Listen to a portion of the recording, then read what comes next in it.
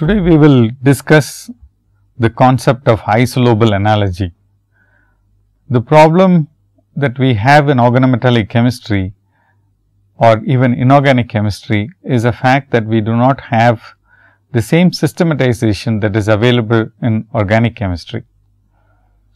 So, a concept of isolobal analogy was introduced by Professor Roald Hoffmann and this analogy allows one to understand a variety of organometallic compounds, structures and sometimes the reactivity.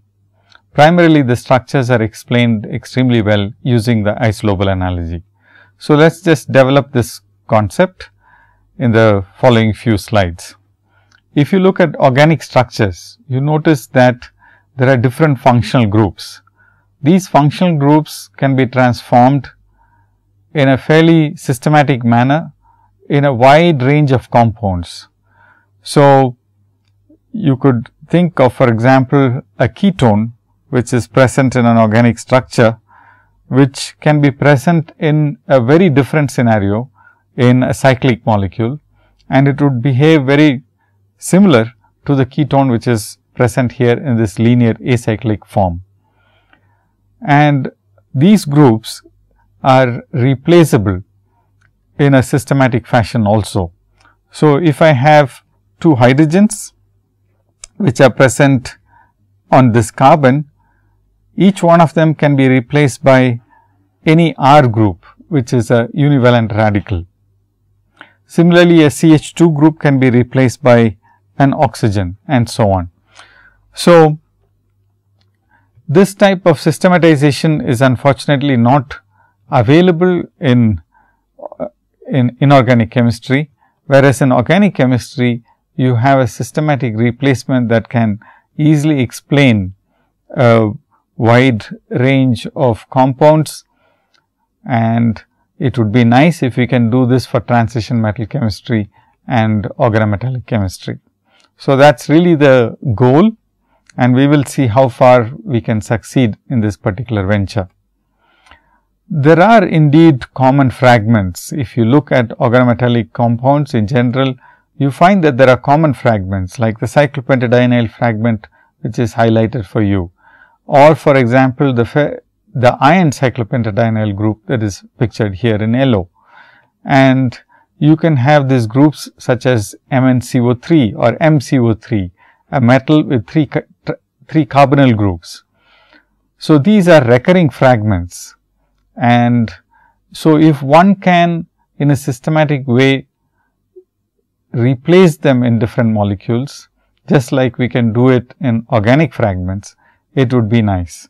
Now, how did we form the organic fragments? If you really want to go back to how one can think of fragments, you are normally looking at the C1 fragment and the saturated variety at that.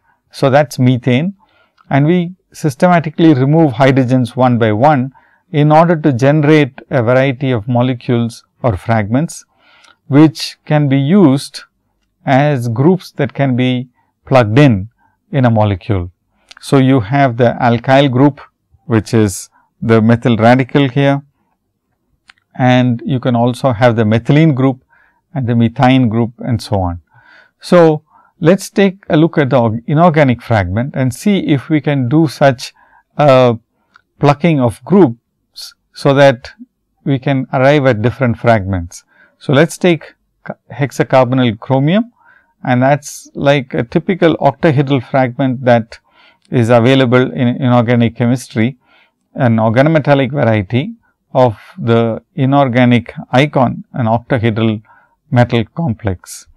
Let us remove one by one and then we get these various fragments of a 5 coordinated metal atom, a 4 coordinated metal atom and so on. And when it comes to 3 and 2 or even 4, we tend to have or we can have a variety of geometries, but nevertheless these fragments can they be used as the fragments that we encountered in organic chemistry? Can we have a kind of a mapping of 1 to 1 and that is the question that we are asking really. So, in order to do that, let us take a look at the electronic structure of these molecules, because that would give us a key uh, that would give us a way to systematically understand these molecules. So, as we had described earlier in an octahedral fragment, uh, which is pictured here, we have to define our axes. So, we will use the usual axes that we uh, the convention. The z axis will be the one which is going up and down on the screen and the x axis is the one which is going from left to right. And the y axis is the axis that is projecting into the screen. So, you have for you the three axes defined and in these axes if you have a bunch of orbitals valence orbitals. In the case of transition metal systems, we normally talk about N d and the empty n plus 1 s and n plus 1 p, which are pictured here. The energy ordering is approximately in this fashion. So, now if you want to form an octahedral complex, we have to choose the right set of atomic orbitals that will form a combination of molecular orbitals with the 6 ligands which are coming in the plus x minus x plus y minus y and the plus z minus z directions. So, if you want to form a set of molecular orbitals, we normally end up taking the d 2 sp 3. We take 2 d orbitals, 1 s and 3 p orbitals. So, that we can combine them and form a combination of molecular orbitals, which will be uh, which will be pointed along the x, y and z directions we are in fact mixing two methodologies, the valence bond formalism and the molecular orbital formalism here. In the molecular orbital formalism, we normally do not talk about uh, hybridization of the D2 sp3, but if you look carefully at the ligand group orbitals that have the right symmetry to interact with 6 ligands coming in the x, y and z directions, the molecular orbitals are in fact those which are formed by mixing the same set of orbitals which we have used in the valence bond formalism. So, this type of mixing of these two theories gives us a easy way of explaining the fragment molecular orbitals that we are going to obtain. So, here I have for you pictured the D2 sp3 hybrid, which is oriented in the right way to interact with ligands coming along the Cartesian coordinates. So, the three orbitals that are left behind that are not going to interact with any orbitals on the along the axis, because they are pointed in between the axes are the x z, y z and the x y orbitals. And these are in the crystal field formalism we encountered or even in the molecular orbital formalism, we would call them the T 2 G set. So, the situation is akin to what we encountered in organic chemistry when we in fact hybridized s and 3 p orbitals on the carbon to generate 4 hybrid orbitals which we call as a sp3 hybrid. So, these hybrids are now pointed along the 4 vertices of the tetrahedron and you can you you are familiar with this and each one of these lobes would look in a in this fashion. So, each one of these lobes which are formed by combining the S and the 3 P's would look approximately like that and they are pointed along the vertices of a tetrahedron.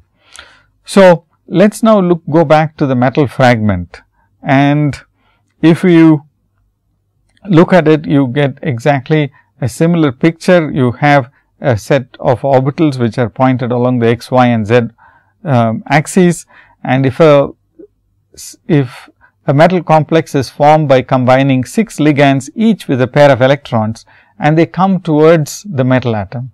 We are hypothetically using a metal which neither has d electrons or Uh, no valence electrons basically.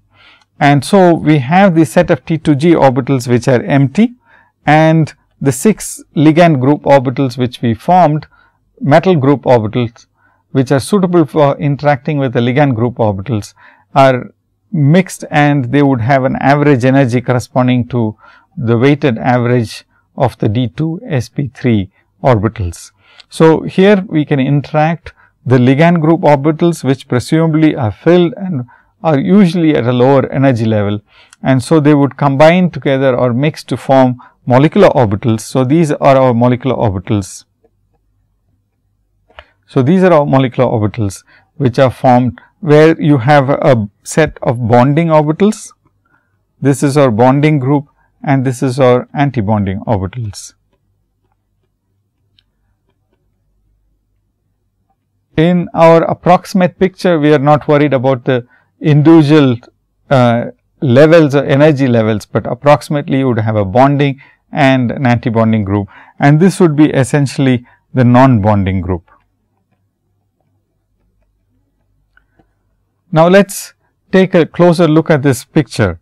We have the ligand which has come in with 12 electrons, 6 into 2, 12 electrons and these are filled nicely in the bonding set of orbitals.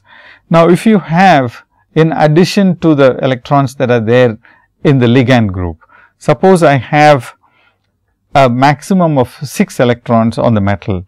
So, I have 6 electrons which are sitting here and these 6 electrons would fill up only the T2G set of, uh, of elect uh, T2G set which is in the middle and it is a non-bonding group. You will notice that we had 6 into 2 12 electrons here and 6 electrons here. So, we have a total of 18 electrons and this is roughly the origin of the 18 electron rule when you have more than 18 electrons, you tend to form uh, tend to form complexes where you are populating the antibonding orbitals that are located here. And since you populate antibonding orbitals, you will have weaker metal ligand bonds. Essentially, what we are saying is these 6 electrons which are present on the metal go into non-bonding orbitals do not contribute really to the bonding situation here. And even if you have less than 6 electrons, so if you have instead of 18, if you have 16 or 14, you would still have a reasonably good bonding situation between the metal and the ligand. Now, let us proceed further. Let us take a look at what would happen if, uh, if you had to remove one of these ligands. But before we do so, we must emphasize the fact that this energy gap between the non-bonding and the anti-bonding uh, group of orbitals is prohibitive compared to the energy gap that is existing here. And as a result, usually one does not fill in these anti-bonding orbitals at all. In most cases, you would stop at 18. So, although 18 electron rule is touted as this most stable configuration, you could have less than 18 electrons and still have stable configurations without difficulty.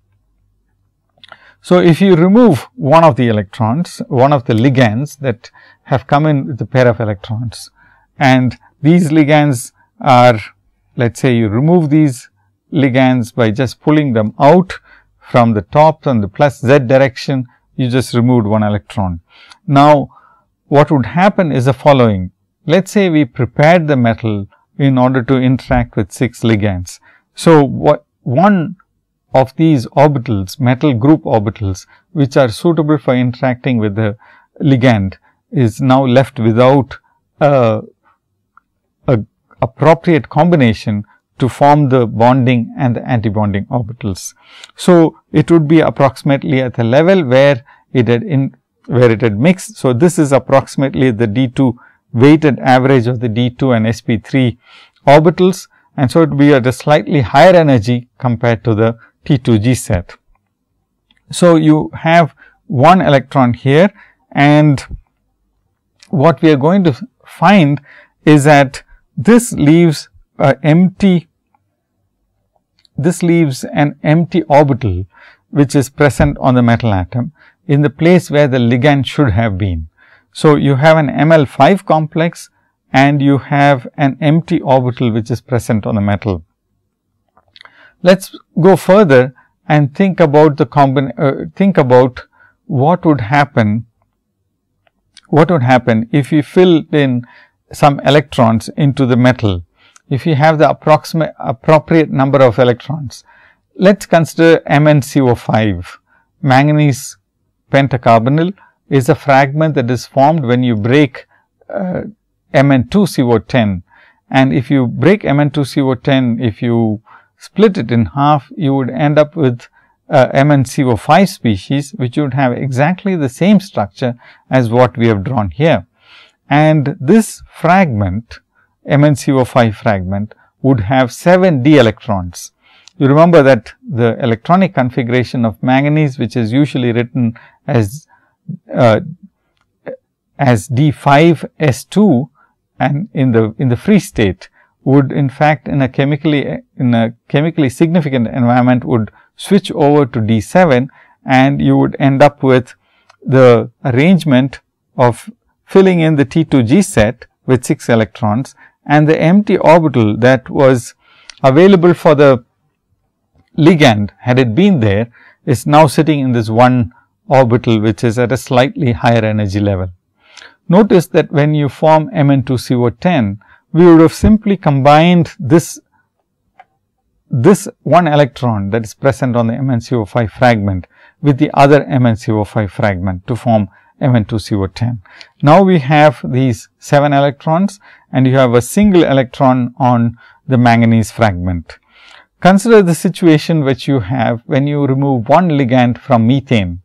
If you remove one ligand, one hydrogen atom from methane, you end up with a CH3 radical and the CH3 radical has a sp3 hybrid present on the carbon and the sp3 hybrid has a single electron present in it. And that single electron which is present on the methyl group can be compared with the MnCO5 fragment which also has a single electron. Notice some more similarities which are present between the two groups. What you have on the on the right hand side is the methyl group and the methyl group has got a single lobe and the manganese MnCO pentacarbonyl has also got a single lobe which is a sp2 sp3d2 hybrid now, but the forms are reasonably similar. Now, these are schematic diagrams. What about the actual diagrams? We should let us take a look at them also. Before we do that, we should tell ourselves that these are not isostructural fragments. The manganese has got 5 groups, the carbon has got only 3. Neither are they isoelectronic. The carbon has, has got only 7 electrons now and the manganese has got 7 valence electrons and the there are more electrons on the manganese and so the carbon and the manganese cannot be considered as isoelectronic fragments. Nevertheless, the total valence electrons that are present if you consider the consider the carbon and the manganese they appear to be similar. What we have forgotten is that there are 5 bonding electrons which we have omitted and here we have 6 bonding electrons which we have counted. So, the, Uh, the total number of electrons on manganese should really be 17 and this one should be 7. So, we are not talking about isoelectronic fragments. A comparison of the frontier orbital tells us now that the two have a similar form.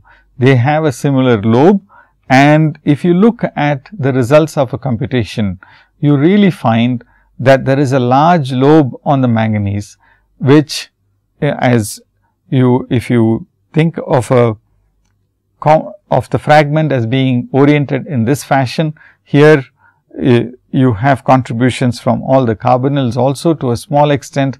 So, the, the highest occupied molecular orbital which was having the single electron in fact looks as if it has got a large lobe which is pointed away from the MnCO5 fragment, but it is very similar to what you have on the methyl group which also had a single lobe. only difference seems to be the small contributions from the carbon monoxides as well. So, if you look at the methyl radical, if you look at the methyl radical, we can ask the question since the lobes are similar, would they have similar reactivity? Here we have the methyl group. What does it do? It combines with another methyl radical and forms ethane. And a very similar situation happens with Mn2CO10. You take two MnCO5 fragments, both of them have got one electron each on the highest occupied molecular orbitals, they can form a manganese manganese bond. Here on the organic side, you form a carbon carbon bond. There, the two similarities seem to be fairly striking. Now, we can also ask the question, can you combine the metal instead of combining with the with another metal, can it combine with a can the methyl combine with the metal? So, uh, answer is yes and we have this familiar molecule MnCO5 Me which we used for looking at insertion reactions. So, methyl pentacarbonyl manganese is a perfectly stable molecule which is formed by combining these two radicals, the organic fragment which is on your right and the metal fragment on the left. You can combine these two just like two methyl radicals would combine and form MeMnCO5. So, you can see that there is a lot of similarity between the two in terms of reactivity, in terms of the behavior and we can in fact uh, go ahead and look at them as isolobal uh, fragments which have similar reactivity. Now, if we if we do this further, let's take let's let's push this uh, analogy a little further. Let's go back to our drawing board and look at uh, the fragments that would be formed if you remove two ligands from the octahedral complex. So, here is the bunch of orbitals which are generated for the 6 metal group orbitals as if 6 ligands are going to come in. But now, if we remove 2 of them, if we bring only 4 ligands and these 4 ligands we are going to bring in on along these axes, along these axes. So, we do not bring in one which is away from you on, on the y axis and one on the right side of the x axis. So, the plus x axis and the minus y axis do not have ligands now. So, what will happen is that the 4 orbitals initially there were 6 orbitals and these are pictured here and then we looked at the fragment which would be formed when we removed one ligand and that is a fragment here we are left with an orbital which did not have a suitable combination. Now, we are having two orbitals along the minus y axis and the plus x axis. They do not have a suitable partner to interact with. And as a result, there will be 4 ligand group orbitals interacting with the 4 metal group orbitals which are pictured here, but 2 metal orbitals are left without a partner to interact with and form molecular orbitals. So, again they will be left in the state where they have no bonding or anti-bonding, they will be similar to the non-bonding orbitals which are formed by the T2G set. So, here we have the familiar T2G set which is uh, left in the non-bonding state and we had 6 metal group orbitals out of which 4 of them have now bonding orbitals and antibonding orbitals, but 2 are still left in a non-bonded state. Now, before we proceed further, the two orbitals which are in the non-bonded state have in fact, they are in fact uh, equi-energetic if they are hybridized together. But in the molecular orbital formalism, you will note that even in the case of water where we are used to writing two fragment, two MOs or two lone pairs, sorry, two lone pairs on the oxygen, which are identical. We call them the rabbit ear lone pairs. These lone pairs are called rabbit ear lone pairs and they are from the VS valence formalism, valence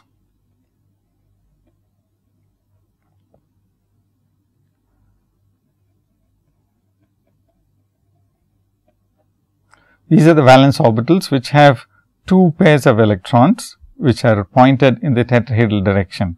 But if you look at the MO formalism, we will end up with a sigma pair of electrons.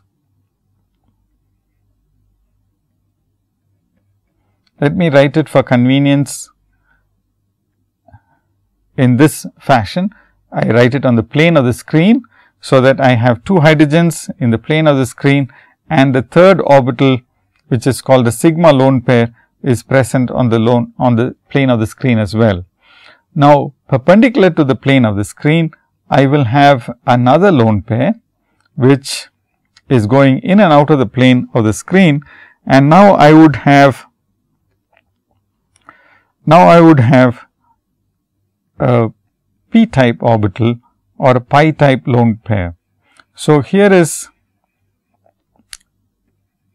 here are two types of lone pairs. One is a sigma type lone pair and another is a pi type lone pair. So, the molecular orbital formalism in fact distinguishes these two electron pairs and it suggests that there would be two different energy levels for them. One would be lower than the other. In fact, if you do uh, spectroscopy, electron spectroscopy on a water molecule, you would find out that in fact, there are two different energy levels for the non-bonded lone pairs. So, although the valence bond formalism, which we have used to derive the uh, rabbit ear lone pairs on water are very common and very familiar to us. The actual situation in an isolated water molecule is that there are two different lone pairs. One is a sigma lone pair and the other is a pi lone pair. And so, a very similar situation happens when you look at the two uh, the rabbit ear valence orbitals which are present in the ML4 system. The ML4 system has got a rabbit ear group of orbitals which have to be split into a sigma and a pi set of orbitals. So, these are the sigma and pi set of orbitals and that is the reason why they have different energies and these different energies come out uh, they are very slightly different in energy, but both are empty. Now, you see that the ML4 fragment should have some analogy with the fragment which is present in the groups that we formed after removing hydrogens from methane. So, let us take a look at the Mendeleev's abacus and see what would be similar to the methylene group that is formed by removing two hydrogens on the methane. You remove two carbon monoxides on the ML6 fragment and if you want to have two electrons on the two orbitals which are the valence orbitals now for the iron carbonyl fragment, you would need 8 valence electrons. And we know that the metal which has got 8 valence electrons is actually iron tetracarbonyl and you would have iron has got D 8 configuration. So, the uh, T 2 G set would be filled with 6 electrons and 1 electron would be available for the two molecular orbitals which are the two molecular orbitals which are present uh, which have the symmetry of A 1 and B 2. So, you have the same and or a similar situation for the CH 2 the methylene fragment except that the energy of the sigma lone pair is lower in the case of the CH2 fragment, whereas in the FeCO4 fragment you have the, the pi type, uh, the p type orbital which is lower in energy. Nevertheless, because these two orbitals are reasonably close in energy, you end up with the electronic configuration that is very similar for the two fragments. So, the two lobes which we derived for CH2 and FeCO4 in the valence bond formalism would have two rabbit ear type lone pairs or two rabbit ear type orbitals which are eh, filled with one electron each and in the molecular orbital formalism we would have to split them as sigma and pi type uh, and they have the symmetry of A 1 and B 2 and this is the way in which they are filled with one electron each.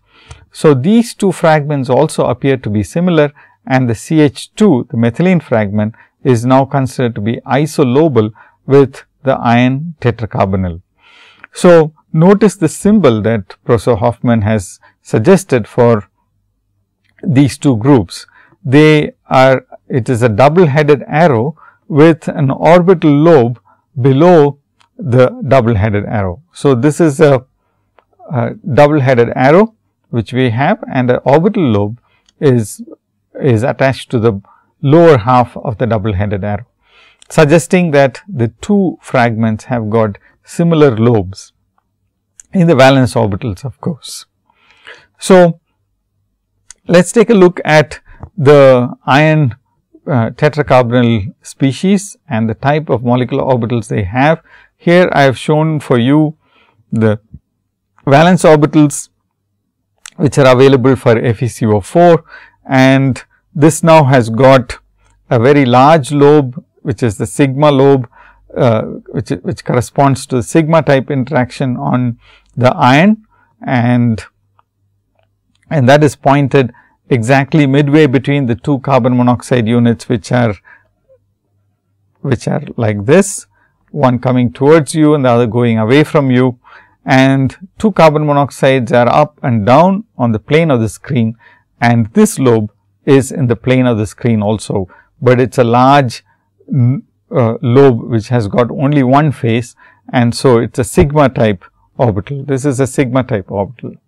Whereas, the other orbital which we have has got a nodal plane which is passing in between the along the two carbon monoxides which are along the plus z and the minus uh, z uh, axes and so you have a nodal plane passing along the xz plane and so you have two lobes one is shaded green and the other is shaded red. So, this one is red. So, that is the those are the two MOs that are present on the FeCO4 fragment. And so, now this is very similar to the p orbital that would have been present on the carbon and the sp2 hybrid which would be present on the carbon in a sigma type orbital. So, the FeCO4 fragment and the methylene fragment are very similar. Now, let us take a look at the reactivity. If you take two methylenes, they would combine together they would combine together to form ethylene. Now, it turns out that ethylene is quite stable. A similar situation happens when you take the iron uh, uh, tetracarbonyl, it can form di-iron octacarbonyl. But unfortunately, this species which has the iron iron double bond is not as stable as the one which has a carbon carbon double bond. Now, you know that in most systems when you have a heavy metal or a heavy um, atom other than the first row atom, they do not form strong multiple bonds. And so, also the iron iron bond is weaker and it is not as stable as ethylene itself. But nevertheless, this is a reactive intermediate that is formed in the reaction of Fe2CO9, which is the stable molecule.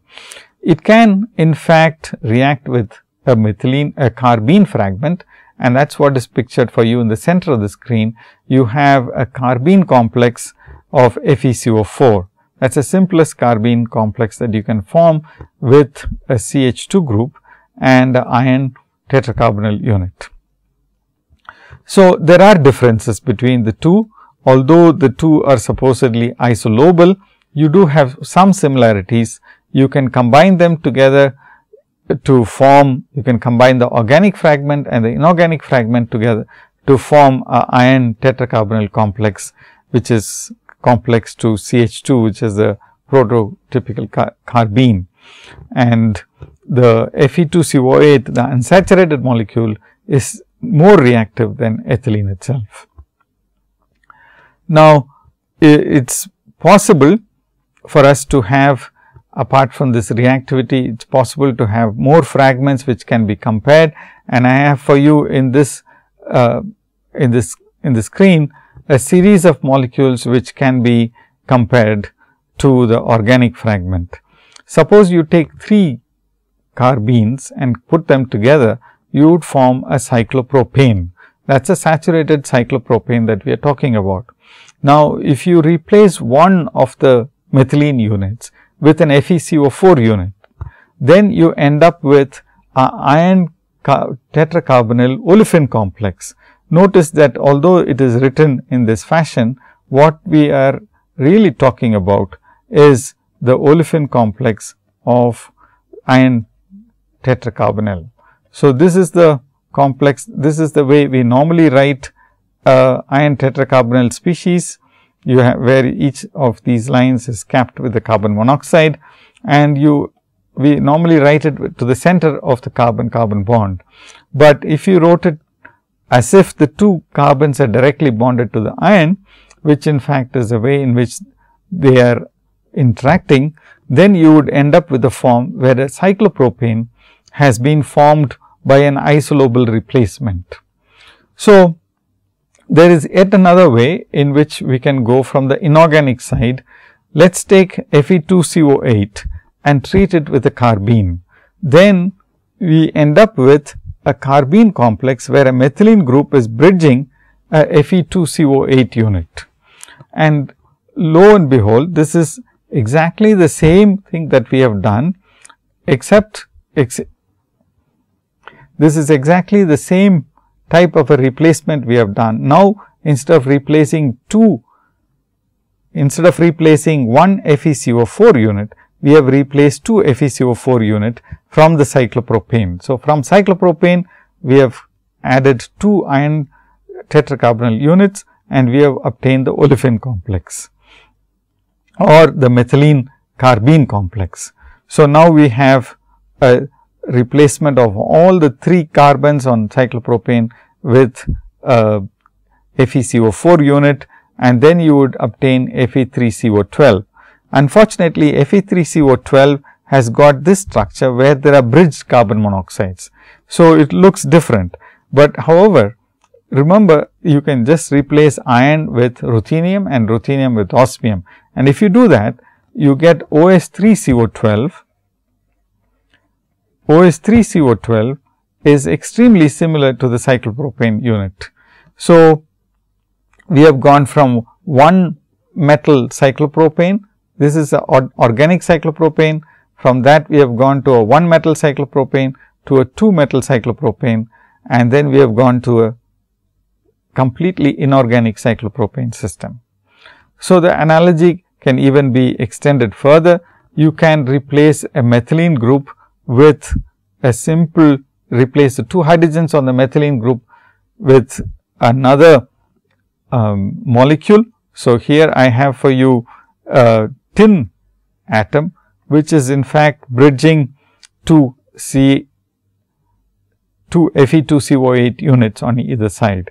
So, imagine this to be a CH2 group initially and then the two hydrogens have been replaced with a ethylene molecule, the inorganic part of the ethylene molecule. So, you end up with Fe2CO8 unit interacting with this carbon, the central carbon. And since carbon can be replaced with tin, silicon and then subsequently tin and then replaced by lead, you have here an inorganic analog of the spiro compound, which we would have formed if we just combined two cyclopropanes together.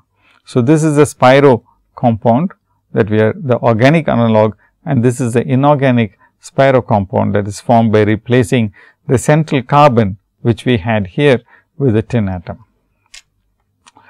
So, now let us go on to the ML3 fragment. The ML3 fragment uh, could be formed by simply re removing three ligands from the ML6 fragment that we are familiar with now.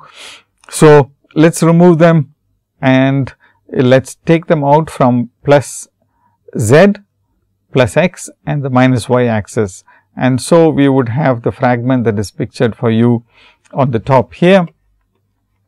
And this fragment can be rotated in such a way that it has a C3 axis, which is now pointed along the z, z plus z of the Cartesian framework. So, this is the so, we want it to be pointed in such a way that you have a C3 axis uh, passing through the plus z axis. Usually, the plus z axis is considered the principal axis and so we rotate it so that we have a proper orientation of the ML3 fragment. Now, if we have 3 electrons present in them, we would have a CH fragment, something equivalent to a CH fragment. So, here is the organic analog and I have a hydrogen here. So, this hydrogen has got 3, uh, 3 lobes which are pointed along the places where the other 3 hydrogens would have been in methane.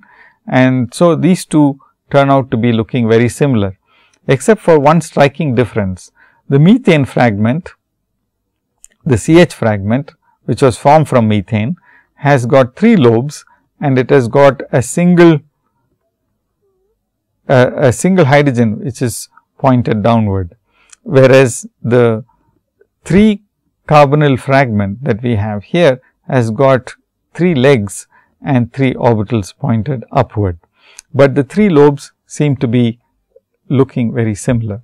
Let us now see what would happen if we if we want to form the analogous fragment for the carbyne. So, this is C H or the C R unit which has got 3 electrons. So, we want 1 electron for each one of these orbitals and if you remember the T 2 G set has to be filled with 6 electrons and we want 3 electrons on the 3 valence orbitals which are available for the ML 3 fragment. If we have to fill up with 9 electrons, it has to be a D 9 system.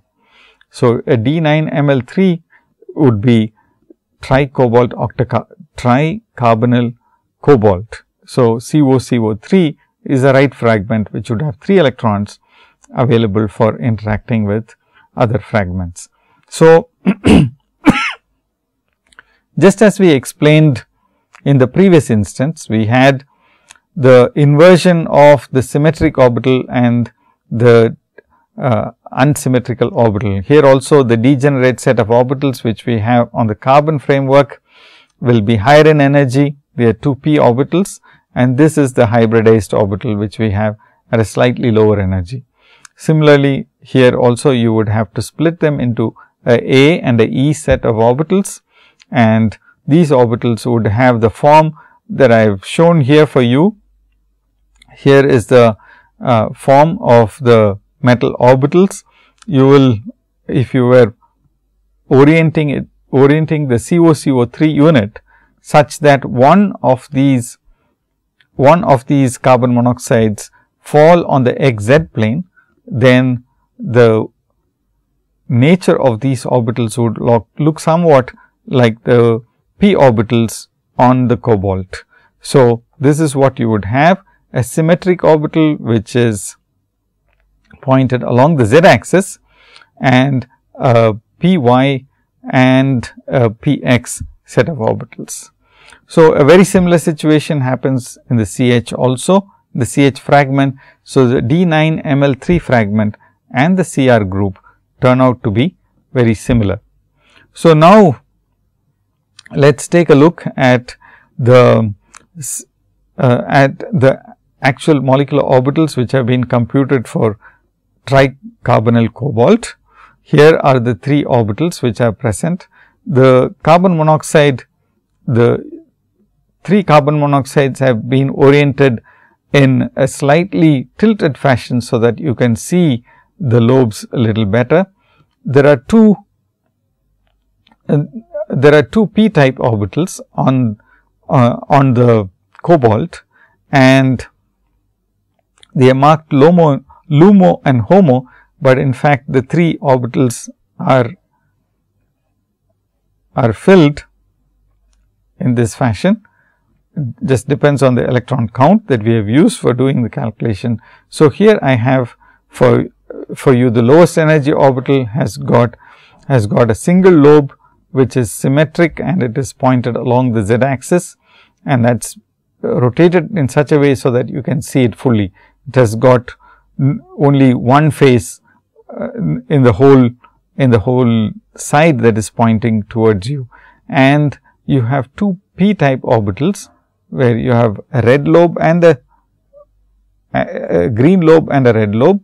And so these two whether it is pointed eh, they are oriented in such a way that you have a nodal plane and so they have they are degenerate and they have pi type symmetry for interaction with other fragments.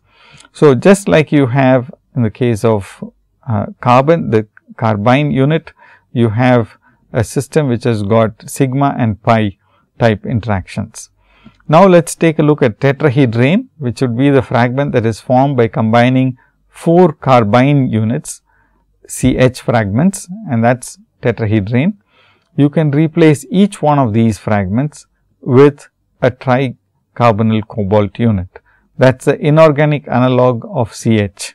So, you have if you if you form a cyclopropenyl unit, cyclopropenyl compound and that can be complexed with cobalt tricarbonyl.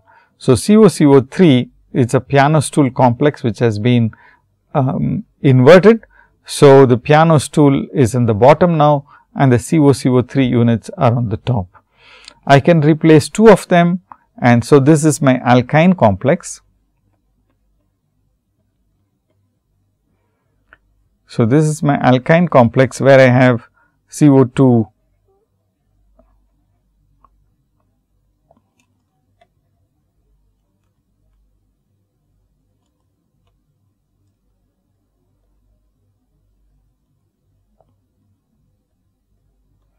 So, where I have a CO2 CO6 unit interacting with an alkyne and the axis of the alkyne is perpendicular to the axis of the cobalt cobalt bond.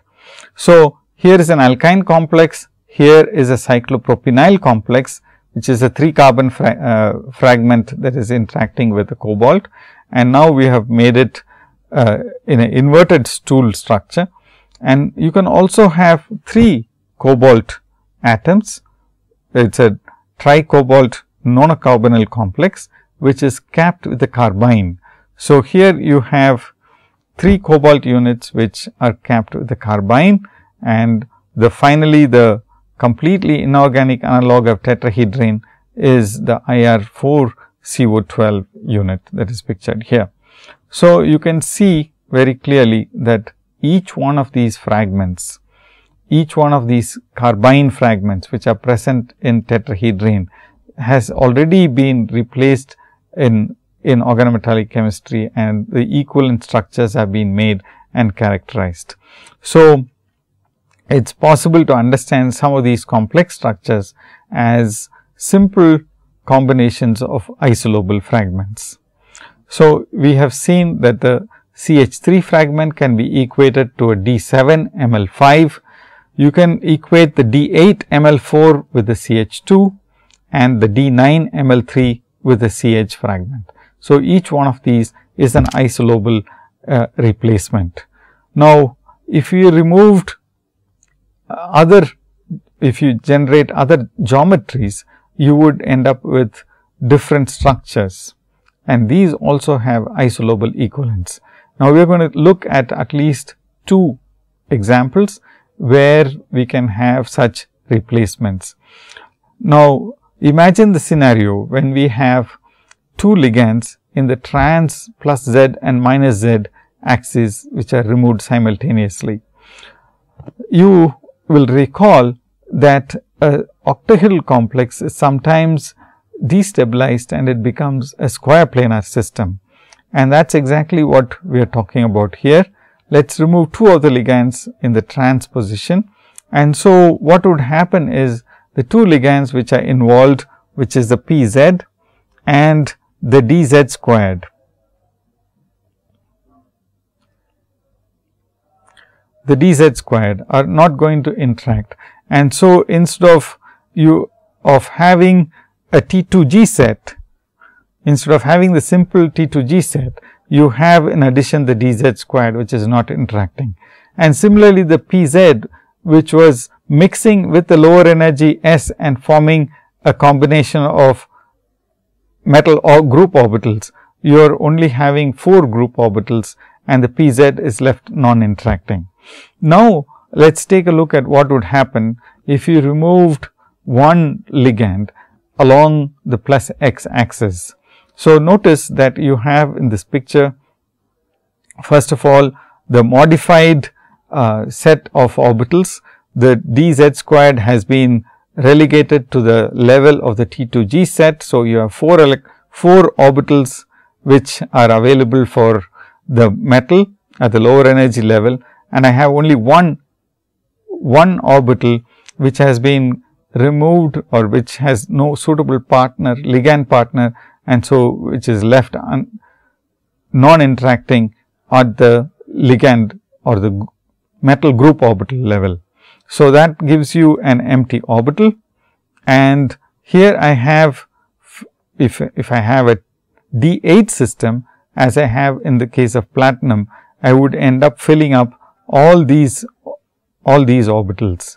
So, that so much so that I have only one empty orbital and that is at the higher energy level. So, PTCl 3 minus for example, is a fragment that is formed by removing one ligand which is present along the plus x axis and that leaves behind a hybridized orbital, a hybridized orbital which is present on the metal and it is pointed along the plus x axis.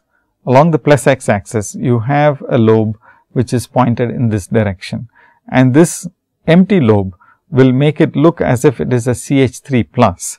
So, now we have as in the case of a CrCO5 where we have 5 ligands and 1 empty orbital and you have uh, PTCl 3 minus which is formed from the 4 ML 4 fragment, you have a species which has got an empty orbital very similar to CH 3 plus.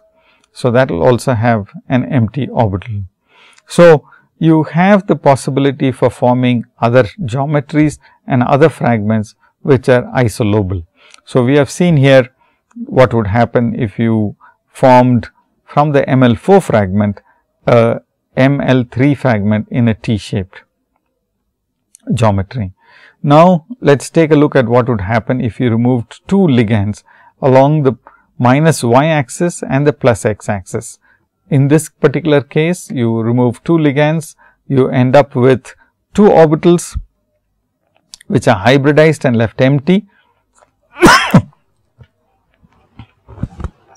the two orbitals on the metal are hybridized and left empty and I have I have a total of 4 metal orbitals which have not interacted at all. And as a result, if I take a D 10 system, I would fill up the 8 electrons here, 8 valence electrons here and I would have 2 electrons, one here and one here. So, that sim looks similar to what we had for a CH2 fragment. So, a ML2 system on a D10 metal would look like FeCO4, except that now we will have a different geometry on the metal. It will have a V-shaped geometry and it would similar to my carbene, which is a CH2 diradical. So, CH2 diradical is isolobal with iron, tet iron pentacarb iron tetracarbonyl and the iron tetracarbonyl is isolobal with my NiL2 or NiPr32 unit. So, much of this uh, lecture that I have given is described beautifully by Professor Hoffmann himself in his Nobel lecture, which has been reproduced in Angewandte Chemie International Edition and that reference is given here for you to go through in detail. Now, what we can do is to extend this analogy and also talk about isoelectronic systems. If you have a CH, the CH group can be converted into a nitrogen as if the proton has been pushed into the nucleus of the carbon. And in a similar fashion, a BH2 unit can be thought of as a CH unit and that in turn can be converted into a nitrogen. So, we can make replacements of CH groups in by nitrogen and even a BH2 unit with a CH and a nitrogen. And uh, we talked about sandwich complexes earlier and here is a iron sandwich which has on one side cyclopentadienyl unit and on the other side a P 5 minus. A P 5 minus is isoelectronic with C 5 H 5 minus. So, C 5 H 5 minus is identical to a P 5 minus. This is similar to a P 5 minus group.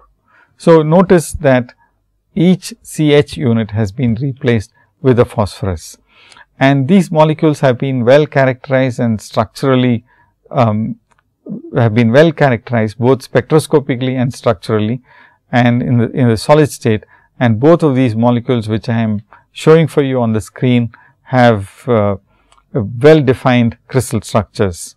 So, this is an interesting system where you have an iron 2 plus with an inorganic sandwich on inorganic sandwich bread on one side and an organic sandwich on the other side. So, the titanium molecule of course, is completely inorganic. Let us move on and this is the synthesis of the titanium sandwich molecule. This was recently published in 2002 in, in a science paper and it has got the titanium sandwich between uh, two P 5 units. So, you can see very clearly that this has got a 2, 2 it is a 2 minus charge, it is a dianion and it is stabilized by 18 crown 6 coordinated to a potassium plus and you have a stable system being formed. So, here is a crystal structure of the molecule with the bond distances indicating that you have a very uh, stable structure and something that can be well characterized both spectroscopically and crystallographically. So, with this we end this discussion about isolobal analogies. What we find is that isolobal and isoelectronic replacements can be done and these replacements allow you to make a wide range of molecules with very interesting properties and understand the type of interactions that are present between the molecules, especially the inorganic fragments, because of the type of lobes, the valence electrons and the lobes that they have in the valence shell. And using a combination of valence bond theory and molecular orbital theory, you can readily explain the type of molecular orbitals that are available for these fragments to interact with other fragments.